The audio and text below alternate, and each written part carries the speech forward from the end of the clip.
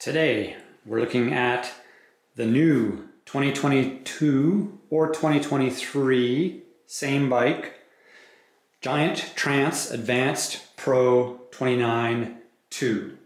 So I just said this is the same bike between 2022 and 2023. The only difference being that this is a 2022 and that is a very gray, sparkly gray. The new version will be a color that they call Air Glow, which I think is getting into Giant's um, classic sort of chameleon color that they like. This particular color is called Metal. So there's one reason to love this bike. In today's video, we're going to go over the specifications on this bike. Um, basically a bit about its background, some of the uh, details, highlights, sizing, lowlights if we can track it down, and in general we will be talking about this Trance Advanced Pro 29-2, a carbon fiber 120 mil rear travel, 130 mil fork bike that I am kind of oozing in excitement over. So we're going to talk about this bike. So we'll get some of the house cleaning out of the way. This bike is 31.6 pounds, um, stock out of the box with the tires set up tubeless, tubeless goop in the tires, and without pedals. I do have pedals on here because tomorrow morning I want to take this thing out for a rip. This is a few hours after we uh, closed the shop on a Thursday night and tomorrow the weather's supposed to be good and I want to ride this bike so bad that I will just call it my own or something. Um, so hopefully that gives a little bit of an idea about the kind of excitement when a bike shop owner gets super excited about something. Um, so housekeeping is 31.6 pounds. Uh, this 2022 in Canada is 57.99 Canadian dollars. The 2023, as I mentioned, same bike, slightly different color, but still kind of um, a very uh, similar appearance, just you would see in this kind of light as I did this.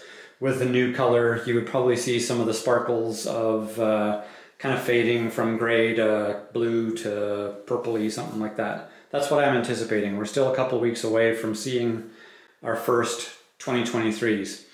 The weird thing, if you happen to be watching or watching this, but you live in the States, this same bike, the same name, Giant Trance Advanced Pro 29.2, your version has all the same spec, but you would see a thing mounted here, and you would see some extra wires going in here because the US version of both, well, they don't even distinguish between 22 and 23.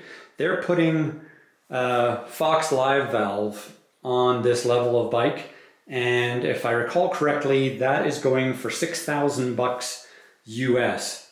So with the exception of when I talk about the suspension on this thing, everything else basically about the spec on this bike is going to be similar between your US electronic uh, suspension version and our Canadian version being standard suspension.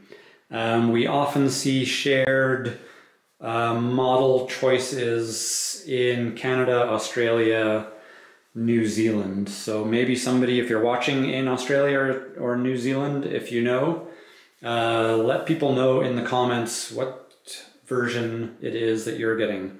I will just say right now, and I'm actually kind of scared to say this. I will say right now, I'm not a fan of Live Valve. I'm scared to say it because two of our brands, uh, Giant and Pivot, are big fans of Live Valve. I'm not a fan, but it's not to say that it's bad. It's to say that there are things about suspension and the way I set up my suspension that I just don't want uh, extra extraneous random adjustment happening on my suspension um, and that's a little bit to do with how I tend to ride my bikes. So we have some housekeeping out of the way. Um, if you're new here, my name is Graham. I own a bike shop in Cochrane, Alberta, Canada. That is the channel name, Bike Bros. That's the name of our shop. And what I like to do is film these bikes, show you some close-ups, some of the details, that almost never make it into reviews, whether they're in print or online or in videos.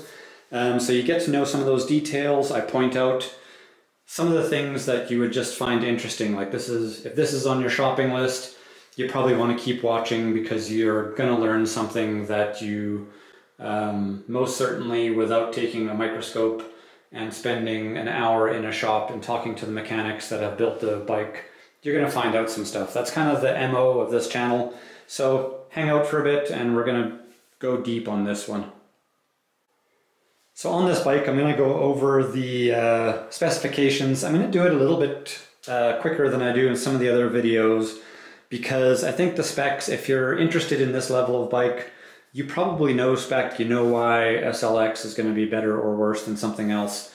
Um, I'll go over it, I'll touch on the stuff or spend more time on the stuff that, uh, that is unique or may um, not be obvious. So to start with, we have a Shimano SLX uh, rear derailleur. Of course, it's a clutched rear derailleur. Um, I hope I don't have to explain the clutch and what it's doing for you an SLX cassette. Um, so that's a 12 speed drivetrain. SLX cassette means we're starting at 10 teeth going up to 51 teeth. So enough range of gears that uh, it should be able to get most riders um, in or out of trouble as needed. Uh, it does use the um, sort of SRAM designed UDH derailleur hanger. So if something happens on a road trip and you destroy a derailleur hanger, um, it is a UDH derailleur hanger, which just means that it's uh, going to be about as universal a derailleur hanger as you can ask for. We have some nice chainstay protection. If you didn't catch it earlier, this is when Giant talks about an advanced pro frame. Advanced means we're talking about carbon fiber.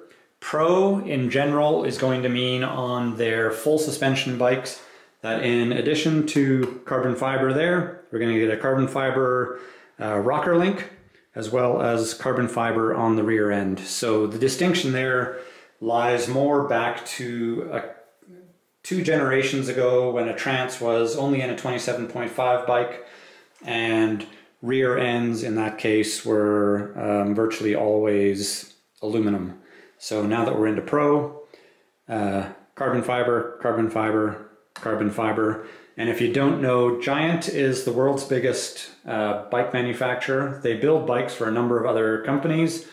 Who those companies are, um, they try to keep secret, but we know that Trek, Colnago, um, some Scotts, though not their carbon fiber, if my understanding is correct, and maybe even some uh, other California brands that all the cool guys want, have come out of the Giant factory over the years. So one of their big things when they're talking about carbon fiber manufacturing is the giant factory will actually go as far as starting with carbon fiber thread and then they do their own job of turning that into uh, pre-pregnated sheets of carbon fiber to their own specifications and then all of the molding, all of the stuff that goes into a frame. So when it comes to carbon, uh, Giant is probably the most vertically oriented, whatever you would call that in business terms. They go everything from a fiber of carbon to this, and that takes an incredible amount of technology and knowledge. So they, when they want to flex their muscles, Giant can easily build something as good or better than virtually anything out there. So sorry, that was me digressing back, just wanted to explain the carbon fiber deal on Giants and just how good it is and why you should have some reason to believe in Giants carbon. It also brings up the discussion we sometimes hear, and some other shops will use this against Giant, is they, um, other shops that don't sell Giant, or even ones that do, but they want to sell other higher end branded bikes, they will leave you with a shadow of doubt in your mind by saying something like, oh, those giants, they're such a good value. Um, I wonder what they do to save you that sort of money. Um, there is nothing, if you pull these things apart, if you assemble them, a Giant is not a cheaper bike. There aren't bad bearings somewhere, there isn't bad manufacturing anywhere. It is purely a case that Giant, by being the manufacturer, by building their own product, they have the ability to make high-end product and they're not greedy, so they just pass along a fair price to you. So in a case like this, when we look at all the spec on this bike, a full carbon bike with carbon rims, and it is 5800-ish bucks in Canada, and you say, how do they do it? It's like, well, they do it like that, or they can do it like that, because they feel like it. Uh, not because they are putting in garbage carbon or anything else. Very high-end stuff, and absolutely worthy of respect. So we carry on with the spec. We go from that drivetrain we have a KMC chain. Some people do, some people don't like them. They're fine. A 30 tooth uh, narrow wide Shimano chainring. This crank set is roughly the equivalent of a Deore crank set, just a half, uh, a smidgen lower in their lineup, uh, and it doesn't say Deore on it. But still, as we can see with that hollow right there, it's a Hollowtech 2 crank set. It's got good bearings, good bottom bracket, um, good manufacturing, all that sort of stuff. It's something that I would be shocked if anybody got this and if they had complaints about the quality of, uh, of their cranks. The bike that we're looking at here is a size large and these cranks are 170 millimeters. So uh, that is kind of the trend, especially on longer travel bikes these days, is not to go up into the 175 sort of length and that is partially to do with trying to reduce the likelihood of pedal strikes um, when your pedal hits the ground, especially under suspension compression. We have some pretty nicely done uh, cable routing, um, disappearing inside the chainstay here, integrated with that protection, coming back out there with a little protective sleeve over the housing for a section uh, zip tied onto the bottom Maestro link coming out of, this is a new style of port that uh, Giant is using in this case, all pretty clean. We have some nice quality looking pivot bolts.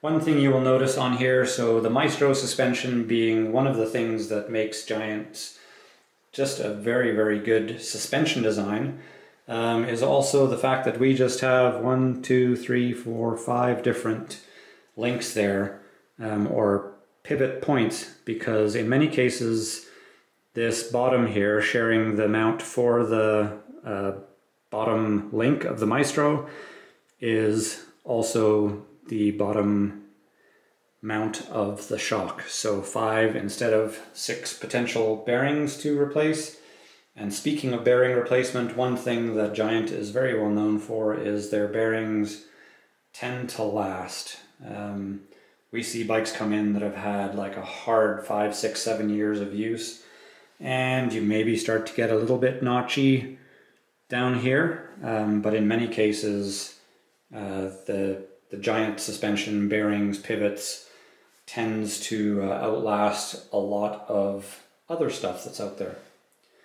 The wheels on this bike are the Giant TRX 2 wheels. So the rim is Giant's in-house built 30 millimeter wide TRX rim that is carbon fiber, 30 mil wide internal, so um, the material and the dimension that would be very popular.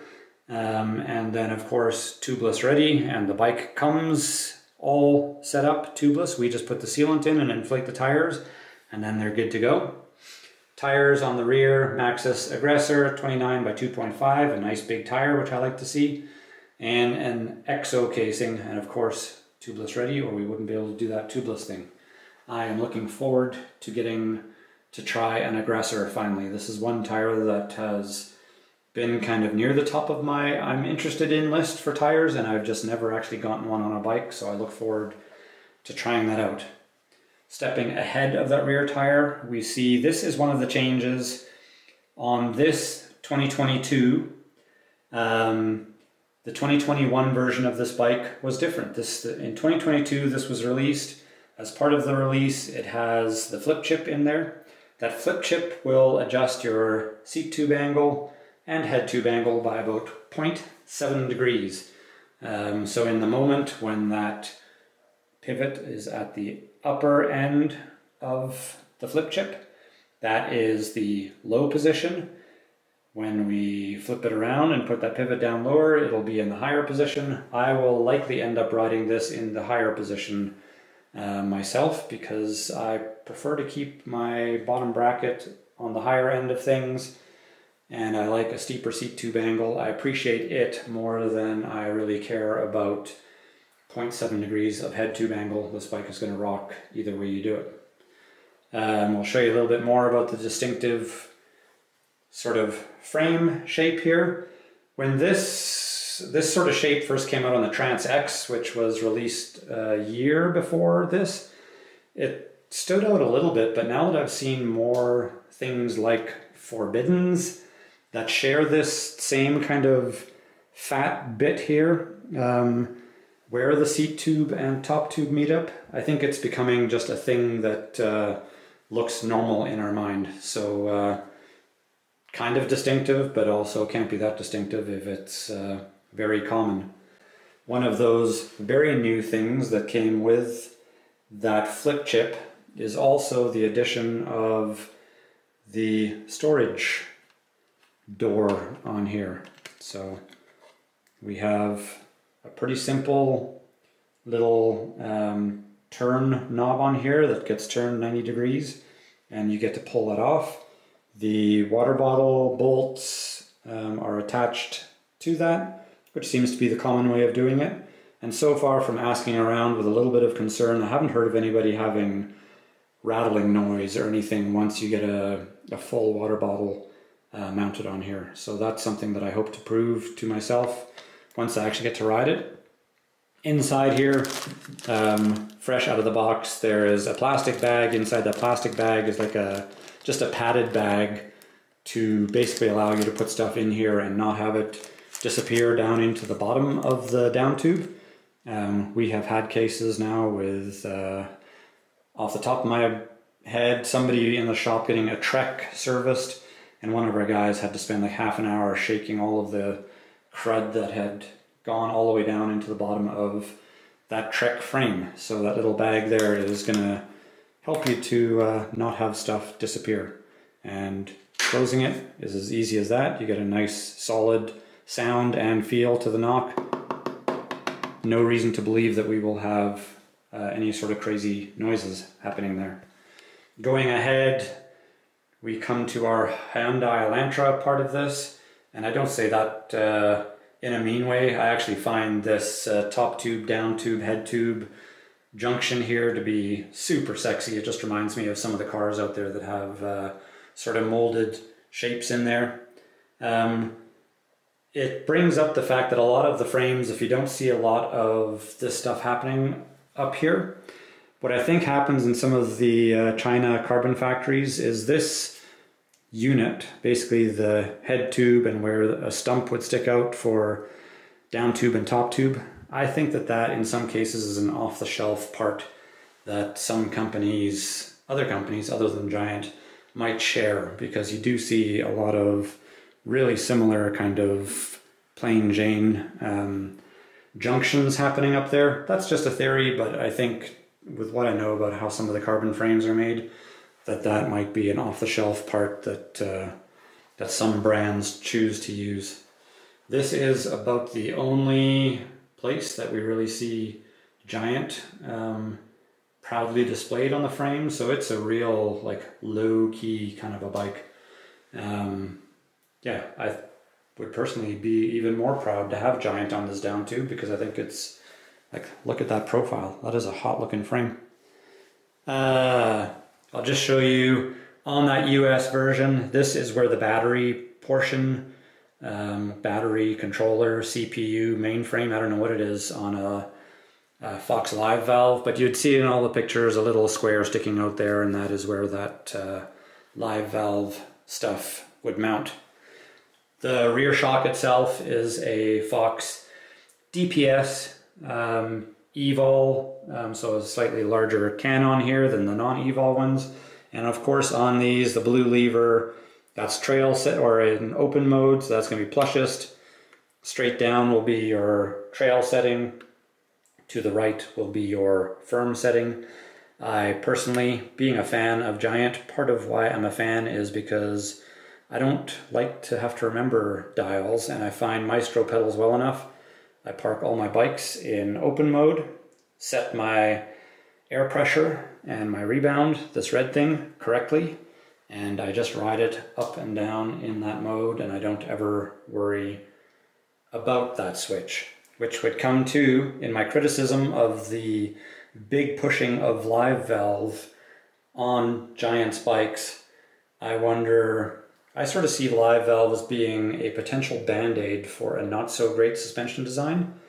And I personally think Maestro suspension is one of the best designs out there. You get incredible traction, braking, um, active suspension, and efficiency. Why would you need to hook up something that adds complexity, batteries, and wires if you are already building a bike with one of the best suspension designs out there?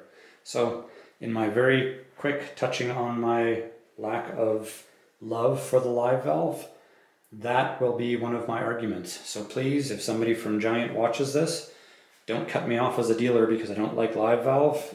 My lack of interest in live valve is because you already make one of the best suspension designs out there, Giant. Um, we touched on that. Tires, tubeless setup. It's already got the goop in there. Now that I built this bike earlier today, we sweep forward past that non-Deore, Deore-ish type of a crank. We see some new uh, ports with a little screw thing there, not just a rubber doohickey that gets shoved inside. The fork is a Fox Rhythm. So a Rhythm is a 34 mil stanchion, um, the equivalent of a Fox 34 performance, performance fork because it has a grip damper, air on that side, 34 mil stanchions. The only thing that changes on this fork is the shape of the crown. Um, and then coincidentally along with it, it is a slightly heavier fork than a traditional Fox 34. But otherwise, it's a Fox 34 that uh, maybe has like two extra ounces of weight. We come around the front tire, Minion DHF, once again, 29 by 2.5. It's that same rim that's on here that I mentioned. Um, 2.5 as well here. EXO casing. Uh, so I think the only thing I would point out on this bike right off the bat that I would be interested in seeing is an EXO Plus on the rear to still keep the weight down, but to just give you a little bit more meat on your tire on the rear end. As we get to these brakes, they're on six bolt rotors, and I will point out that this is one of the few things in assembling this bike that I was a bit bummed to see. The rotors are 180 millimeters front and rear. These are resin only rotors, meaning these are basically the uh, from the budget basement budget shop from Shimano. Um, and that means that there's also going to be resin pads in these brakes, even though they're a four piston brake. So 180 mil rotors. The one place that you would potentially want to upgrade this bike would be in braking, and that would be getting new rotors, sticking some new uh, metallic brake pads in there. Keep in mind though, these resin pads at lower speeds are probably going to have better bite and they're going to sound better. So uh, it's not always a case of metallic is better. Metal is better, but not metallic. And I'm talking about metal as the frame color. These brakes are the 6000 series brakes. That means that they are the first price point to have servo wave, which is sort of a mechanical thing happening up in the lever body up here that allows for this shorter brake lever and still the really good power that uh, Shimano's Shimano brakes are known for. So I'm a fan of these brakes because at a pretty decent price point, like aftermarket, half the price of XTs, you pretty much get XT performance potentially out of the brakes. You just don't get the uh, tool-free adjustment on things, which it's not that hard to pull a tool out. Uh, you don't get a reach adjust little screw that would be up here that would be on XT, um, but you do get uh, ceramic pistons in your brakes. You can't see them in there, but there are ceramic pistons. That helps to dissipate the heat. You get the servo wave, so you get the two magical things that the higher end Shimano brakes get, but at a price point. That bell I put on, that's the Easter egg, just to see if anybody's paying attention now that I've pointed it out. You know about it. Uh, the grips are giant lock-ons, a decent pattern on there. Uh, doesn't really do much for me, positive or negative. The handlebars are an alloy 780 millimeter wide uh, giant contact trail bar with 35 mil clamp. So they might be a little bit on the uh, stiff side, maybe transmit a bit of extra shock into your hands. The stem is 50 millimeters long, which I think for this 120, 130 millimeter travel bike is probably going to keep it handling the ups and downs pretty appropriately. We do not have to put 32 mil stems on everything we ride. Uh, what else can we point out? Uh, dropper courtesy of this new uh, Travel Adjust, we'll just call it the Plus Rad um, this is, I believe, a 170 to 200 mil drop range on this particular bike. It has a pretty pleasing and strong, oh, I'll see if I can do this while I'm doing it. Listen to that. That's a pretty nice dropper thunk at the top of its stroke.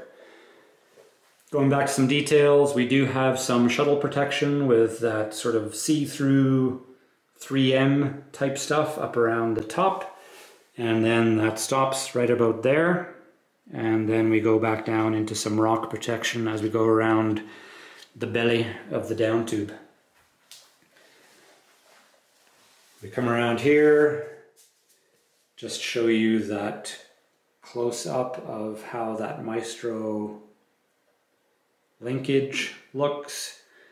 The rear end on this, once again, it's a 180 millimeter rotor front and back.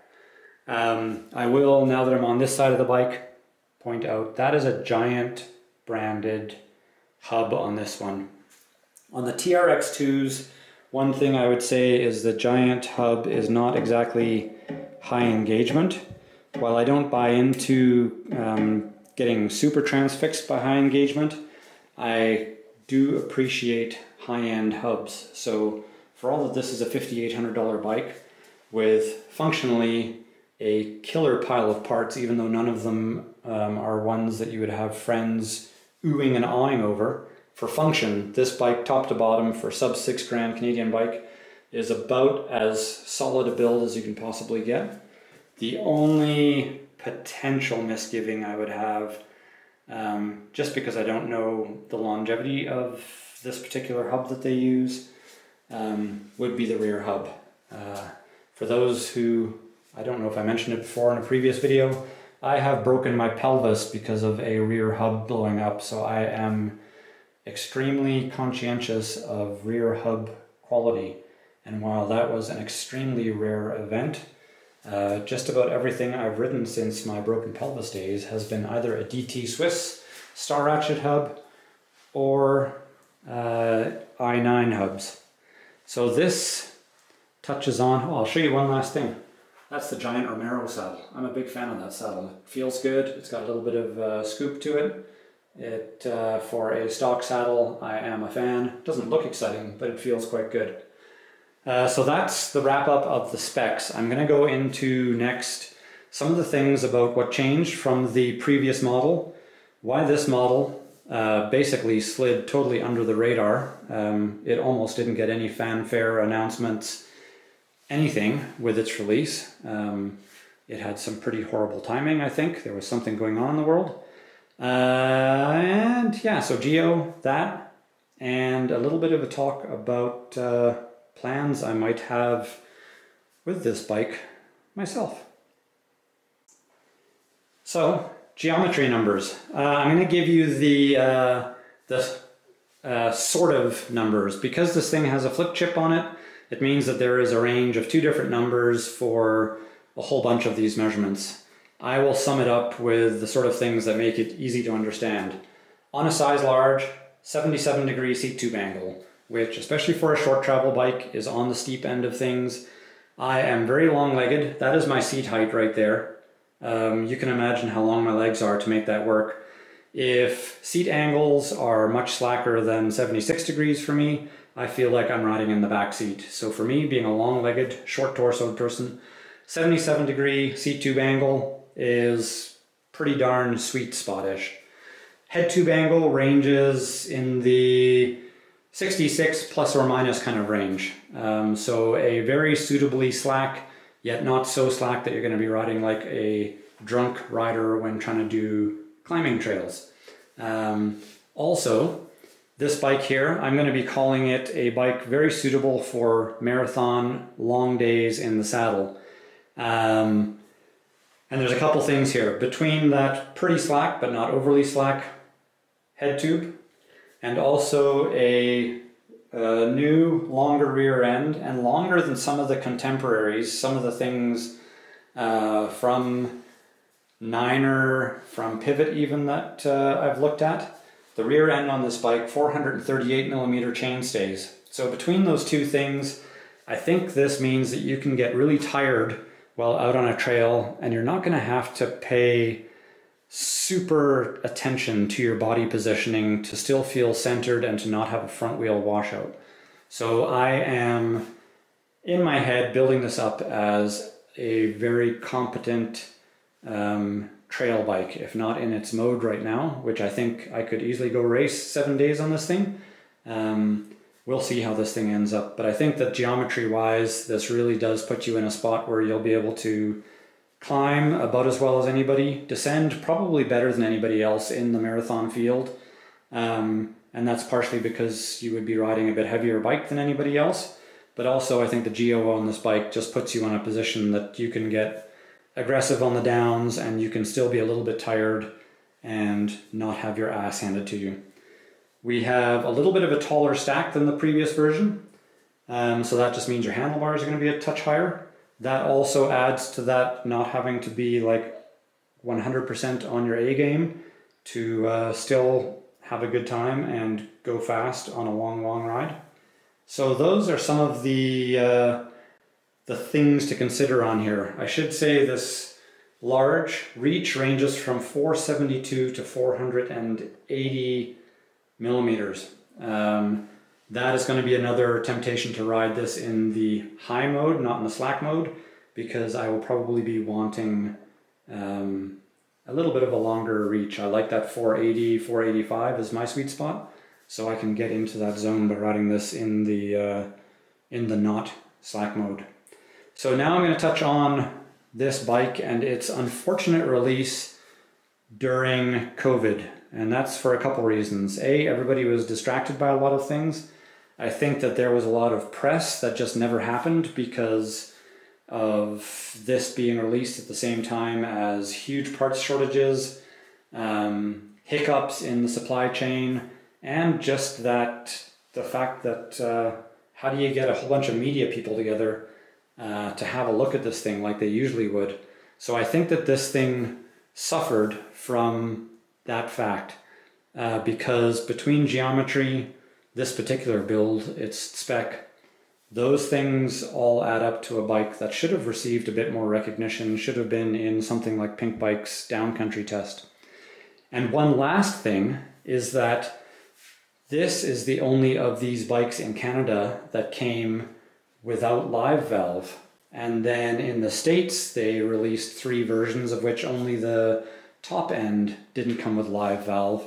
And so in Giant's releasing of this bike, when they got press, there was often way more time in the video reviews, magazine reviews, talking about live valve and the yays or nays of that, rather than focusing on the back that, the fact that this thing between its Maestro suspension, the carbon frame, the flip chip, the geometry, like this bike stands on its own. It should be a super exciting bike for a lot of people. Like I personally think a 120, 130 bike is about where a lot of people probably should be to have the funnest time. Um, and yet this bike just got eclipsed by the fact that it was never mentioned without mentioning electronics happening on its suspension. So who's sick of my voice? I'm already starting to lose it from talking this long, but I think this bike, it deserves a lot of discussion. The last thing I'm going to tell you is I um, I'm signed up for the BC bike race. That's a seven day race all on Vancouver Island this year. And this is one of two bikes that is now my short list of bikes that I might be racing that on. I am very fortunate being a shop owner that I can basically play with expensive bikes. I get them at shop owner deals and then uh, be it a few weeks, a few months later, I sell them off and so I get to try a lot of things. And with that said, this is one of the two bikes that I am considering for that bike. I went with this particular model, uh, partially, as mentioned, not a fan of live valve.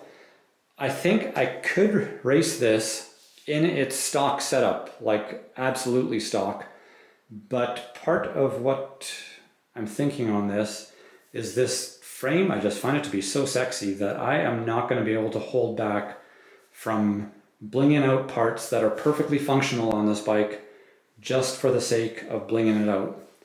Um, I don't know if that means anything to people, but for me, I think there's a sexiness to this bike, a worthiness when you're sitting there looking at these carbon wheels and you're thinking, I'm going to buy some fancy carbon wheels, or looking at this fork or this cockpit, these cranks. Any of this stuff may very well end up getting replaced only because I think this frame deserves absolute bomber bike parts and it is always fun to personalize a bike in that way.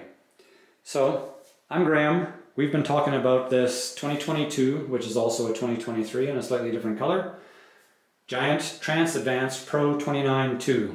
As Giants always do, it has a stupidly long, long name, but as they always do, you get value and you get amazing value. Um, amazing value and value uh, value and performance. Uh, if you're interested in seeing more of these sorts of videos, subscribe, like, leave a comment, all that stuff that people tell you to do on videos. Um, and we will see you again soon. Thanks so much for watching. Ciao.